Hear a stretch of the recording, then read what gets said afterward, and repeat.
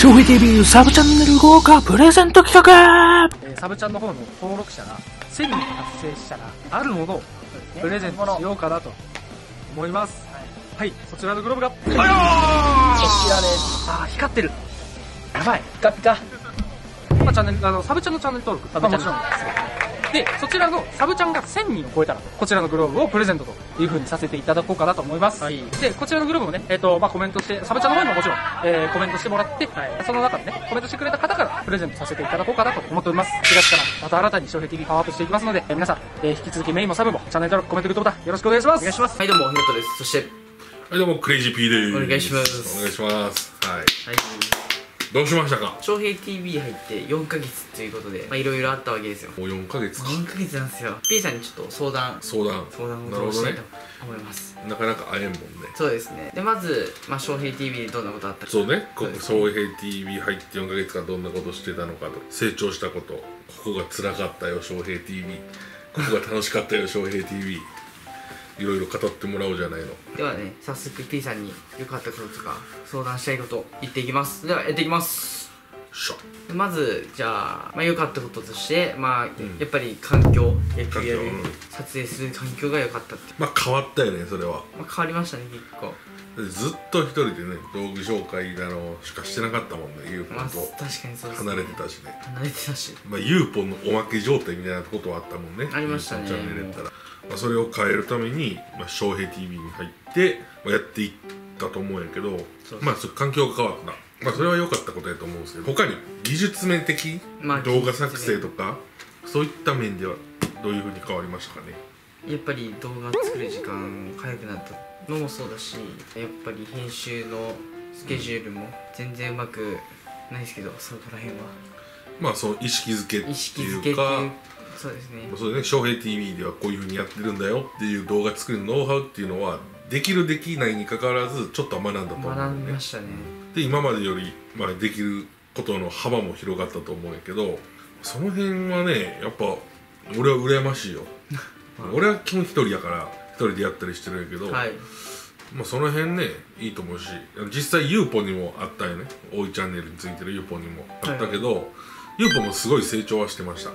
でヒロトと会ってヒロトは、まあ、成長はしてるんですけど、まあはい。ちょっとね病んでる部分も多かったよね、まあやらかしてる部分が多いんでそうやらかしが多かったよねこの4ヶ月間。4ヶ月間っていうかもうこの1ヶ月間がすごい。すごいね。ドドドとも俺も話は聞いてるけど怒涛のようなやらかしがあって多分それもね環境が変わったのが一つあって、まあヒロトが就職決まったんだよね。す。就職決まりましたね。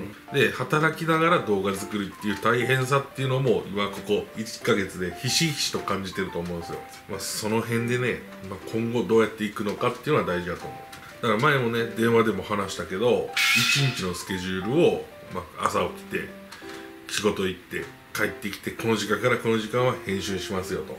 そうですね。そういうのをきっちりねスケジュール管理をできていけば後々ゆっくりね時間もできてくると思うのでその辺はやってみてください。はい。はい、で今日編集してるところね実際目の当たりしてカットだけでしたけど今日は、はい。うん、思ったより早くできたんじゃないかなとそうですね。思います。はいはい。まあまだまだなことはいっぱいあると思うんやけど、まあ、その辺はねそれぐらいのスピードでできるんやったら今後もねカット、うん、編集はもうちょっと余裕持ってできるんちゃうかなっていう兆しは見えたんで、はい。その辺はやっていってくれればいいと思います。はい、これ4ヶ月間やってみて、はい。TV 入ってここはちょっときついなーっていうところぶっちゃけで言っていきましょうよ。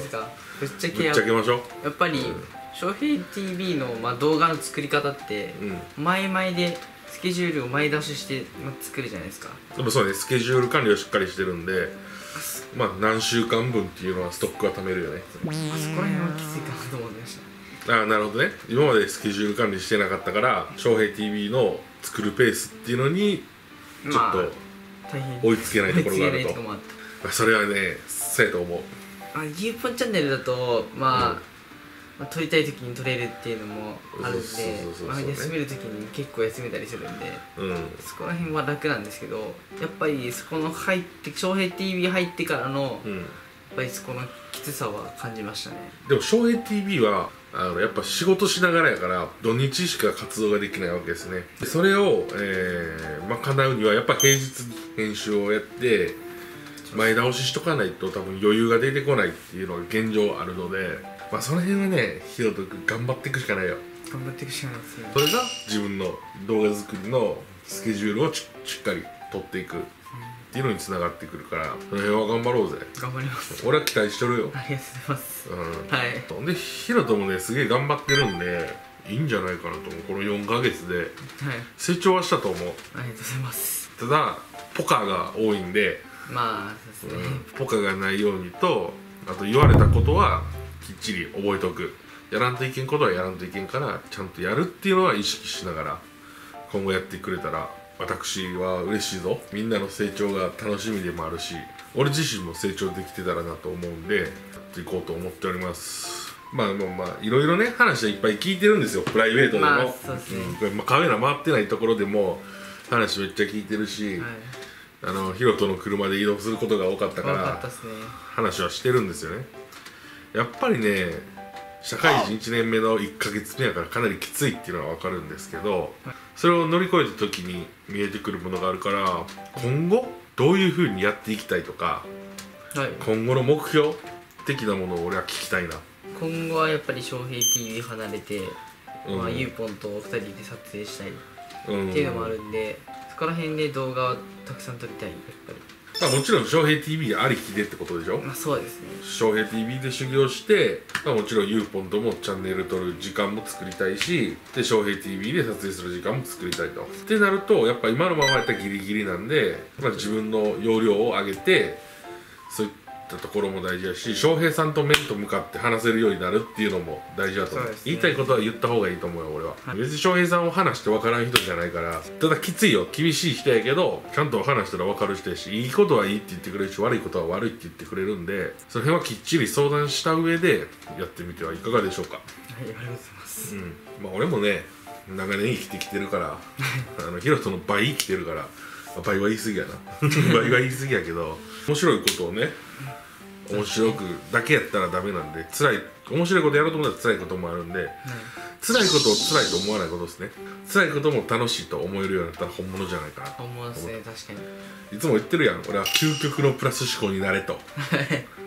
そう究極のプラス思考を目指してね俺はヒロっていうのを今後頑張ってほしいなと思ってます。はいありがとうございますぶっちゃけたらね。ちゃけた。まあ結構ねぶっちゃけたね。ゆうぽんチャンネルでもやりたいとかね。なかなか言えることじゃなかったもんね、まあそうですね。うん。まあ、こういうそういうこともね思ってるようなので今後ね皆さんヒロトを応援してあげてください、はいお願いします。何かあったら俺に相談してきたら LINE 通話っていうのもあるし相談乗りますんで相談してきてください。はい。はいそんな感じでいかがでしょうか？ああもう助かります本当ですか？はい。ひろとくんの相談もねちょろっと乗れたっていうことでねはい今後の躍進に期待してます。人生に生かせたらなと思います。OK です。そんな感じでやっていきましょう。はい。ということで P さんのチャンネルは概要欄に載せておくのでぜひチェックの方お願いします。お願いします。この動画が良ければチャンネル登録コメントグッドボタンよろしくお願いします。それではありがとうございました。よっしゃーいひろと頑張れ。よし頑張りますチャンネル登録コメント高評価よろしくお願いします。それではありがとうございました翔平 TV2022 年版 T シャツスウェット販売。購入リンクは動画概要欄にあります。チェックよろしく。チャンネル登録1万人突破。皆さん本当にありがとうございます。2万人3万人4万人と頑張っていきますのでこれからもよろしくお願いします。チャンネル登録は必須でお願いします。